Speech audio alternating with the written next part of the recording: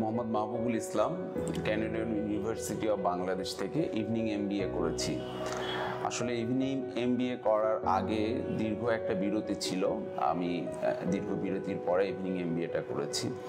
আমার কাছে যেটা মনে হয়েছে ইউনিভার্সিটির ফ্যাকাল্টি মেম্বাররা অনেক এক্সপিরিয়েন্সড এবং দে আর কোয়াইট গুড তো ভবিষ্যতে যারা এই ইউনিভার্সিটিতে গ্র্যাজুয়েশন বা পোস্ট গ্র্যাজুয়েশন করবে আমার মনে হয় তারা অনেক ভালো করবে। বর্তমানে আমি ব্র্যাক ব্যাংকে ফার্স্ট অ্যাসিস্ট্যান্ট ভাইস প্রেসিডেন্ট হিসেবে কাজ করছি।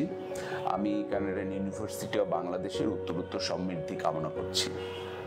Canadian University of Bangladesh, inspiring applied knowledge.